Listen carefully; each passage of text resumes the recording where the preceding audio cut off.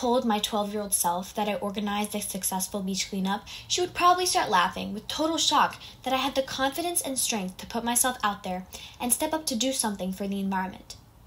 I always wanted to participate in things like this, and when Ms. Flores presented the opportunity to create a service learning project, I couldn't help but feel that this was the moment I had been waiting for. I knew that the anxiety of preparing a slideshow, talking to my teachers, presenting in front of the principal, and in the end organizing something was going to be overwhelming. I knew that I was going to put myself in an uncomfortable position by putting myself and my abilities out there. So the question remains on why I went through with the project. Why would I do something that I knew I would struggle with?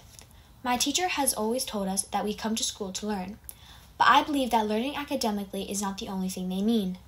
Doing a beach cleanup, experiencing the pressure, learning how to organize such a thing would give me experience. It would give me a chance to learn how things like this work. It would help me grow into a more capable student. And it did.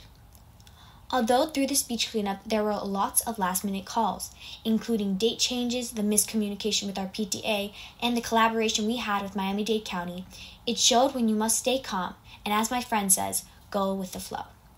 This, this beach cleanup was my first introduction to having the responsibilities of an adult, and I can say with complete certainty that this was one of the best decisions of my middle school career.